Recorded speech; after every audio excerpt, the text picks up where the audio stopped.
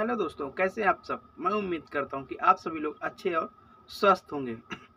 तो दोस्तों, आज मैं बात करने वाला हूँ कि मैं मर्चेंट नेवी में इंडिया में कौन कौन सी कंपनी में जॉब किया हूँ और अभी मैं प्रेजेंट टाइम में किस कंपनी में हूँ, वो बताने वाला हूँ।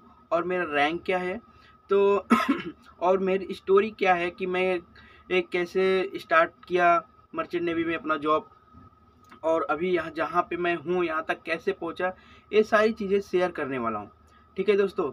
मैं ये सब इसलिए बताने वाला हूँ कि जो बहुत सारे लड़के जो बहुत सोचते हैं, मैं स्टार्टिंग में ही लाखों पचास हज़ार रुपये कमाने लगूँ, जो जो कि मैं पिछले वीडियो में, एक वीडियो में बनाया हूँ इसके ऊपर, जैसे एजेंट लोग चूतिया बना रहे हैं। तो लड़के थोड़ा सब्र रखें धीरे धीरे स्टेप बाय स्टेप आगे बढ़ें, जैसे उनको कुछ भी प्रॉब्लम ना हो। इसलिए मैं आज ये सब बताने वाला हूँ। तो दोस्तों, वीडियो स्टार्ट करने से पहले अगर आप मेरे चैनल पर नए हैं तो प्लीज़ मेरे चैनल को सब्सक्राइब कर लीजिए और लाइक, कमेंट, शेयर ज़रूर कर दीजिएगा दोस्तों, जैसे दूसरे लोगों को भी इसके बारे में पता चल सके। तो दोस्तों, ज़्यादा देरी न कर दो, चलिए हम वीडियो को स्टार्ट करते हैं।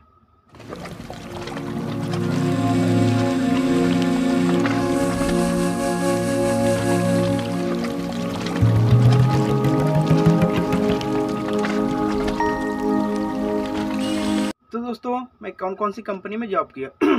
तो दोस्तों, जो मेरी पहली कंपनी थी, वो कंपनी थी के एन के शिप मैनेजमेंट तो दोस्तों के एन के शिप मैनेजमेंट मुझको कैसे पता चला इसके बारे में? पहले मैं आपको वो बता दे। देखिए दोस्तों, हमको कुछ पता नहीं था। मैं बॉम्बे में था जॉब ढूंढ रहा था तो हमको कुछ पता नहीं था।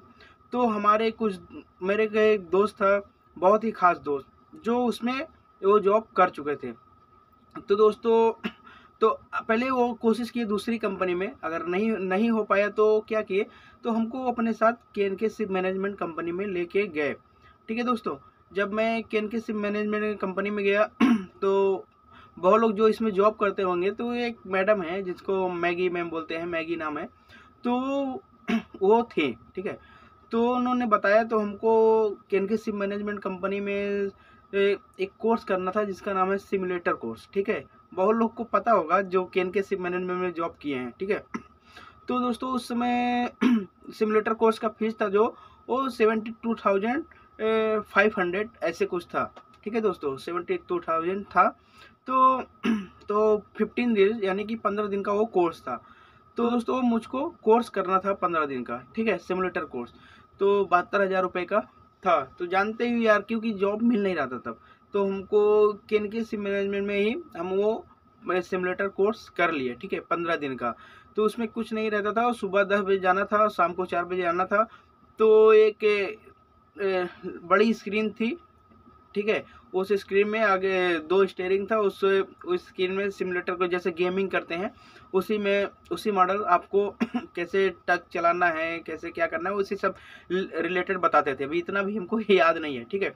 तो मैं वो कोर्स किया था के एन के सिप मैनेजमेंट कंपनी में। क्योंकि यार अगर मैं बहुत सारी जगह देख लिया, बहुत सारे एजेंट पैसा मांग रहे थे एजेंट पे भरोसा मैं करता नहीं हूँ ज़्यादातर तो कहीं पैसा लेके भाग गए या मेरा पैसा फंस गया तो फिर मैं घर पे क्या जवाब दूँगा? बहुत सारी प्रॉब्लम थी उस समय, ठीक है दोस्तों? तो ये कंपनी ने मेरे को बोला, आपका वॉच कीपिंग सी सब निकल जाएगा यहाँ से। तो मैं यही अच्छा लगा कि चलो ठीक है, यहीं से कोर्स कर लेता हूँ। जो पंद्रह दिन का है, ये इसी कंपनी से मैं watch keeping C O P निकालूँगा। कहीं इधर उधर भागने की ज़रूरत नहीं, क्योंकि जो भी एजेंट बोल रहे थे, बोल रहे थे एक कॉन्ट्रैक्ट करने के बाद दूसरे कॉन्ट्रैक्ट में हमको फिर पैसा दे। ऐसा कौन बार बार कहाँ से पैसा लगाया आदमी और स्टार्टिंग में सैलरी भी ज़्यादा नहीं थी। मैं आपको सैलरी के बारे में नेक्स्ट वीडियो में बताऊँगा कि स्टार्टिंग मेरी सैलरी कितनी थी और अभी मेरी सैलरी कितनी है, वो मैं नेक्स्ट वीडियो में बताऊँगा। ठीक है दोस्तों? तो यही था यार, मैं कोर्स किया पंद्रह दिन का। वो दो तीन दोस्त और थे, सब लोग साथ में किए थे कोर्स तो मैं के एन के सिप मैनेजमेंट कंपनी ज्वाइन किया और भी मुंद्रा पोर्ट ठीक है दोस्तों, मैं मुंद्रा पोर्ट में मेरी ज्वाइनिंग हुई थी फ़र्स्ट टाइम उस टक का नाम था डॉल्फिन सेवन डॉल्फिन सेवन में मैं ज्वाइन किया था फ़र्स्ट टाइम और जब मैं डॉल्फिन सेवन में गया, ठीक है, पहले तो बहुत अच्छा लग रहा था, मैं जा रहा हूँ, जा रहा हूँ। जैसे ही मैं मुंद्रा पोर्ट पहुँचा डॉल्फिन सेवन के अंदर गया सभी से मिले क्योंकि मैं नया था उस समय। उसके बाद जब मैं केबिन में गया अपने रूम में अंदर गया उसके बाद मेरे आँख से बहुत आँसू गिरे। ठीक है दोस्तों मैं बहुत रोया कि बहुत रोया क्योंकि मेरे को बिल्कुल भी अच्छा नहीं लग रहा था। फिर मेरे माइंड में यही आ रहा था अरे अब मेरे को पानी में ही रहना है पानी में ही रहना है ए, कुछ कहीं बाहर नहीं जा सकता। बहुत सारी मतलब अजीबो गरीब ख्याल आ रहे थे मेरे माइंड में। तो उसमें मैं बहुत रोया अंदर जाके। ठीक है, अकेले अकेले केबिन में मैं बैठ के बहुत रोया। उसके बाद फिर अपने माइंड में रख लिया, यार, अभी तो हमको यहीं पे रहना है। तो उस समय के एन के सी मैनेजमेंट कंपनी जो है, वो कॉन्ट्रैक्ट छः महीने के नहीं देती थी। ग्यारह महीने का कॉन्ट्रैक्ट देता था, ठीक है? तो हमको ग्यारह महीने रहना था, इतना लंबा। हाँ ऐसा नहीं कि नौ महीने का कॉन्ट्रैक्ट है छः महीने का कॉन्ट्रैक्ट है, वो डायरेक्ट ग्यारह महीने की कॉन्ट्रैक्ट दे देती थी। लेकिन ग्यारह महीने का कॉन्ट्रैक्ट था, मेरे को उतारी थी ग्यारह महीना अट्ठारह दिन में, ठीक है? तो दोस्तों, बहुत उस समय मेरे को प्रॉब्लम हुआ था। उसके बाद कुछ, एक दो दिन थोड़ा मायूस था, फिर धीरे धीरे धीरे धीरे उसमें ढलने लगा। क्योंकि यार दोस्तों, कोई भी नया नया जाता है थोड़ा अजीब सा लगता है, ठीक है? तो मन नहीं लगता है। फिर धीरे धीरे जब आप काम करने लगेंगे बिज़ी हो जाएँगे, फिर आपको धीरे धीरे अच्छा लगने लगेगा, ठीक है ना? तो उसमें काम किया डॉल्फिन सेवन में ग्यारह महीने तक। मैं तो ग्यारह महीने तक उसमें काम किया। उसके बाद मेरा साइनअप हुआ। साइनअप होने के बाद फिर कोरोना आ गया। कोरोना में मैं घर था। उसके बाद फिर मैं दोबारा उसी कंपनी में ज्वाइन किया। उसके बाद उसी के साथ साथ मैं एक दूसरी कंपनी का मैं नाम बताता हूँ जिसमें मैंने जॉब किया पोल स्टार तो दोस्तों पोल स्टार में मैं एक अप्लाई किया था ठीक है? तो आ, ऐसे घर बैठे ये रिज्यूम डाल दिया था मेल पे उनके। तो मेरे को कॉल आया था, लेकिन मैं जस्ट एक हफ़्ते ही हुआ था सेकेंड कॉन्ट्रैक्ट के बाद के के। एक ही हफ़्ते हुआ था, मेरे पास कॉल आया तो मैं नहीं गया, क्योंकि एक ही हफ़्ते बाद कौन जाता है यार? हाँ इतना लंबा कॉन्ट्रैक्ट करके आओ उसके बाद तुम पोल स्टार में या मतलब दूसरी कंपनी में जाओ तो एक ही हफ़्ते में कैसे मन नहीं करता है, ठीक है? तो मैं नहीं गया, फिर दोबारा उस कंपनी ने फिर बोला, एक ऑनलाइन फॉर्म भेजा, बोला इसको फिलअप करके रखना। मैं वो सब फिलअप करके रखा, लेकिन दोबारा उस कंपनी ने कॉल नहीं किया। फिर मैं क्या किया? फिर मैं चला गया के में। उसके बाद के में गया, फिर के ने हमको मौका दिया। एक बीच में मैं जापान भी गया था, कि अदानी का डॉल्फिन थर्टी फोर लाने के लिए। डॉल्फिन थर्टी फोर वेसल लाने के लिए मैं जापान गया था। के ने हमको भेजा था, ठीक है? तो वहाँ पे भी था तो गया था। बहुत अच्छा लगा जापान में। पंद्रह दिन हम लोग होटल में थे तो घूमे, बहुत भी, बहुत अच्छा लगा। तो जापान जानते हैं आप कितना अच्छा कंट्री है। तो मैं वहाँ पे भी गया था, घूमा उमा, आया। फिर उसके बाद जापान से रिटर्न आया। जापान से रिटर्न आने के बाद फिर मैं, जब मेरा साइनअप हुआ, मैं घर गया। उसके बाद फिर पोल स्टार ने एक महीने बाद साइनअप के मेरे एक महीने बाद कॉल किया दोबारा। तो मैं उस समय फिर मैं रेडी हो गया। मैं कि, इसलिए कि यार, एक बार कॉल आया था, मैं गया नहीं था। और दूसरी कंपनी में मैं ज़्यादा ट्राई किया नहीं। फिर मैं सोचा, यार, भी एजेंट को पैसा देना पड़ेगा, इससे अच्छा पोल स्टार में चले जाओ। अब पोल स्टार में कितनी सैलरी देखो सैलरी से रिलेटेड मैं आपको सेकेंड वीडियो में बताऊँगा। दूसरी एक वीडियो में बनाने वाला हूँ तो उस पर मैं आपको सैलरी से रिलेटेड बताऊँगा। ओके दोस्तों तो क्या हुआ? मैं इसमें मेरे पोल स्टार में जब मेरा कॉल आया तो मेरे को बोले ज्वाइनिंग के लिए? मैं बोला, ठीक है, मैं रेडी हूँ। तो बोले, ठीक है इंटरव्यू के लिए कॉल जाएगा। तो मैं, मेरे पास इंटरव्यू के लिए कॉल आया, आधे घंटे तक मोबाइल पे ही इंटरव्यू दिया। उसके एक हफ़्ते बाद मेरे को ज्वाइनिंग मिला, घर से टिकट मिला और मैं आ गया मुंबई। मुंबई में मेरा मेडिकल हुआ, जो कि मैं उससे मेडिकल से रिलेटेड एक वीडियो बनाया हूँ। डिस्क्रिप्शन में दे दूँगा, आप लोग देख लीजिएगा जब मेरा पोलिस्टार में ज्वाइनिंग हुआ था। ठीक है तो मैं, मेरी ज्वाइनिंग जो हुई थी मुंबई में जेएनपीटी पोर्ट ठीक है, जवाहरलाल नेहरू पोर्ट अथॉरिटी, अभी उसका नाम जेएनपीए हो गया है। पहले जेएनपीटी था, जवाहरलाल नेहरू पोर्ट ट्रस्ट था, अभी जवाहरलाल नेहरू पोर्ट अथॉरिटी हो गया है। ठीक है दोस्तों तो मैं जेएनपीटी में था, इसमें भी दो कॉन्ट्रैक्ट मारा और उसके बाद मैं अपना, मेरा अठारह महीने जैसे कंप्लीट हुआ, मैं सीओपी निकाल लिया।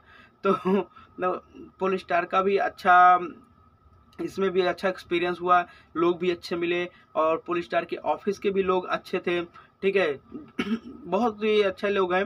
जैसे पुलिस स्टार में अभी प्रेजेंट टाइम में अभय सर हैं और कविता मैम तो काफ़ी पुरानी है। कविता मैम हैं, ठीक है, पल्लवी हैं मतलब कई लोग हैं, ठीक है। तो विक्रांत सर हैं, विक्रांत सर बहुत अच्छे हैं। अच्छे से बात करते हैं। आप टेक साइड वालों को इंटरव्यू ज़्यादातर विक्रांत सर ही लेते हैं ओके तो आप लोगों को नाम बता देता हूँ, ध्यान में रहेगा। तो ऐसे ही और पोल स्टार में सब कुछ आपको खाने पीने के रिलेटेड सब कुछ, देखो ये कोई बड़ी कंपनी नहीं है, ठीक है, छोटी कंपनियाँ हैं तो ऐसा नहीं है आपको फाइव स्टार जैसा हर एक चीज़ मिलेगा। तो देखो कंपनी छोटी, उससे बड़ी, जैसी कंपनी होती है, उस हिसाब से आपको फैसिलिटी मिलती है, ठीक है।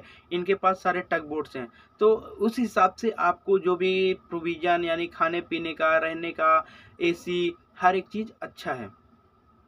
ओके दोस्तों इसलिए इसमें कोई भी प्रॉब्लम नहीं है और मैं जिसमें टग में था, उस टग का नाम था डेजी स्टार ठीक है? तो मैं डेजी स्टार में था।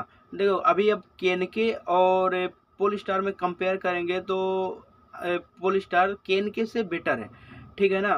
क्योंकि मैं केन केन के ने लेकिन एक चीज़ है कि नए नए लड़कों को मौका देती है, वहाँ से आप अपना स्टार्ट कर सकते हैं, क्योंकि बहुत सारे एजेंट पैसा लेके भाग जाते हैं या आप एक बार एजेंट को पैसा दे के गए जॉब किए, फिर दोबारा आए, आपको जॉब नहीं मिल रहा। इससे इससे अच्छा के था कम से कम स्टार्टिंग में आपको जॉब दिया, आप उससे अपना वॉच कीपिंग निकाल सकते हैं सीओपी निकाल सकते हैं। हालाँकि मैं वॉच कीपिंग के से निकाला बट सी में पोल स्टार कंपनी से निकाला, क्योंकि के से के में कंप्लीट करने के बाद पोलिस्टार में कॉल आया, मैं इसमें आ गया। तो इसमें मेरे दो कॉन्ट्रैक्ट बाकी था अठारह महीने होने में तो मैं इसमें दो कॉन्ट्रैक्ट किया पोलिस्टार में और मेरा सीओपी आ गया। ठीक है दोस्तों? तो पोलिस्टार भी कंपनी बेस्ट है। तो अगर आप लोग ट्राई करना चाहे पोलिस्टार में तो पोलिस्टार में जाइए। पोलिस्टार कंपनी बहुत अच्छी है। अगर आप इंडिया में जॉब करना चाहते हैं तो ठीक है? अगर आपको वॉच कीपिंग सी निकालना है क्योंकि यार आजकल बिना सीओपी के बाहर कंपनियाँ पूछ नहीं रही हैं। ठीक है? अगर आपके पास सीओपी नहीं है आपको जॉब नहीं मिलेगा अदर कंट्री में। ठीक है? या फिर वही आप एजेंट को पैसा देंगे एजेंट आपसे लेगा दो लाख ढाई लाख रुपए फिर भेज देगा आपको कितना देगा? हम्म, चालीस पैंतालीस हज़ार आप पाएँगे उसके बाद क्या आपका बचेगा? ठीक है?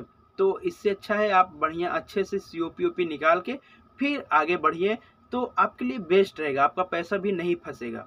ओके दोस्तों, इसलिए मैं आपको बोलता हूँ कि आप लोग अच्छे से ज़्यादा भटकिए मत, ज़्यादा एजेंट के चक्कर मत पड़िए। अगर आपको पोल स्टार ओशियन स्पार्कल अभी ओशियन स्पार्कल कंपनी शायद बिक गई है, अदानी ने उसको ले लिया है, लेकिन माइनिंग केन के नहीं कर रहा है, कोई और कर रहा है, ठीक है? तो आप देख लीजिएगा, अगर इस सब कंपनियों में आपको जॉब मिलता है तो आप कर लीजिएगा, ठीक है? ज़्यादा बड़े के चक्कर में बड़े के चक्कर में आपको बहुत वेटिंग करना पड़ जाता है, इससे घर वाले भी परेशान हो जाते हैं, लड़का क्या कर रहा है? ठीक है, उसको जॉब मिला कि नहीं मिला, क्या कर रहा है, मुंबई में इतने दिनों से बैठ के, यानी कि जानते हो बहुत सारी चीज़ें, बहुत सारे लोग बोलने लगते हैं। और घर वाले भी परेशान हो जाते हैं, अगर आपको जॉब नहीं मिलता, फिर आप घर रिटर्न जाते हैं तो घर वाले हो जाते तो अगल बगल वाले आपको परेशान कर देंगे बोल बोल के। तो थोड़ा आप लोग जहाँ भी मिलता है जॉब आप चले जाइए कंपनी अच्छी होनी चाहिए, ठीक है, अब बराबर, अब मास्टर चेकर अपडेट होना चाहिए, और उसमें आप जाइए, आपको कोई भी प्रॉब्लम नहीं होगा। और दोस्तों, ज़्यादा हाई प्रोफ़ाइल के चक्कर में मत रहिए, ठीक है? तो मैं आपको यही बोलूँगा कि आप ज्वाइन अगर होता है तो ज्वाइनिंग कर लीजिएगा। तो तो यहाँ तक था मेरा K N K ship management company में जॉब किया, उसके बाद पोल स्टार में जॉब किया। तीसरी कंपनी अभी मैं जहाँ, जिस कंपनी में हूँ, वो है जाना मरीन कंपनी जो कि है सऊदी में है, ठीक है? तो अभी मैं जाना मरीन कंपनी में हूँ प्रेजेंट टाइम में सऊदी अरब में। तो दोस्तों, इसमें मैं कैसे आया? देखो, इसमें मेरा एक दोस्त था, उसने हमको नंबर दिया था। मैं कॉल किया, उसके बाद रिज्यूम दिया अपना। रिज्यूम देने के बाद मेरे को इंटरव्यू कॉल आया।